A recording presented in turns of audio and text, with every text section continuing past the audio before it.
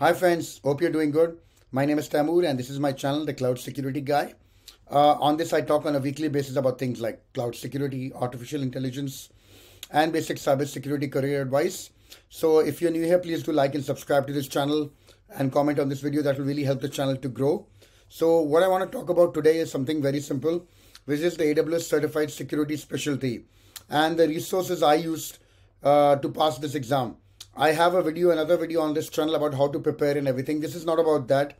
Uh, you can find many, many videos on my channel, on the other channels also, about how to prepare. This is more about what are the resources I particularly use to pass this examination. And I thought I would share that. Uh, just maybe this will help you also if you're preparing. So first of all, what is the AWS Certified Security Specialty? So like the name says, it is a specialty examination within AWS, especially for security professionals. It is not a beginner level examination. Uh, I'm very clear about that. Please, if you do not know AWS, if you've never worked on AWS, uh, this is not the examination to try for. Like AWS itself says, you need five years of IT security experience and like a working knowledge. You know, I don't think you need five years, but at least like a one or two month, uh, month or sorry, a year or two years experience within AWS and IT security before you try uh, attempting this examination. Okay and uh, so it is hands-on. You need to know aws it is not theoretical like the ccsp or the cissp okay? It's a very in-demand certification okay? As you can see the price the cost is around $300 if you've passed another examination before from aws you can actually use a voucher and get a discount i think 50% and it's 65 questions okay? You can do it online or go to a uh, uh, what do you call uh, examination site. But like i said if you haven't done aws before i would recommend doing something like the AWS Solutions Architect Associate and then attempting this. But this is what the examination is. It is uh, geared towards security within AWS. If you look at the exam guide, you can download it. I believe you can download it from here. Yeah, download the exam guide. And this is what the exam guide is. And what the, what do you call, this is the scope of the examination as you can see. Incident response is 12% logging and monitoring, infrastructure security, and around uh, with infrastructure security being at 26%. So if you go there, the biggest, uh, what do you call, um, yeah, you can see they cover everything, right? WAF, VPC flow logs, NACLs, security groups, all those things are covered. So please do not underestimate this examination if you've never done it before. And uh, definitely, so now that you understand what the examination is, uh, what the basic high level, this is the domains and the domains weightage. How did I do it? Okay, very simple. What I did was, first of all, I did a training on this. I, I used the A Cloud Guru, but there are many good trainings on Udemy also. I mean, this is the, just the one I used. Um, so it's very easy to use.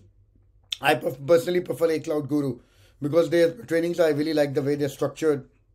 You can use the Udemy ones also and not uh, like uh, promoting any particular platform here, but this is just the one I used.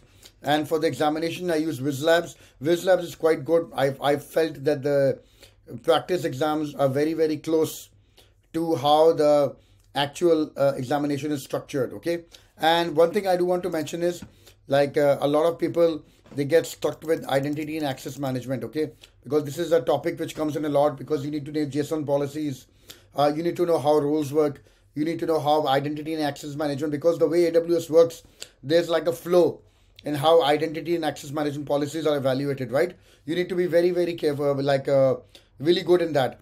One thing I would recommend completely for free, which is on YouTube. There is this video, Become an IAM Policy Master in 60 minutes or less.